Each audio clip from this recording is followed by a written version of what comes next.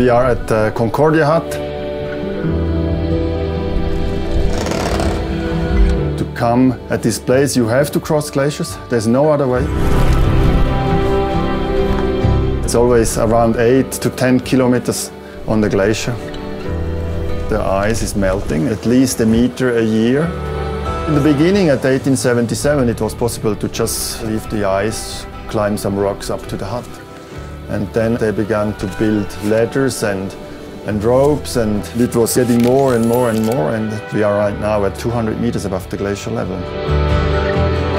My name is uh, Christoph. I just want to keep the hut accessible to make it possible for people to enjoy this beautiful place.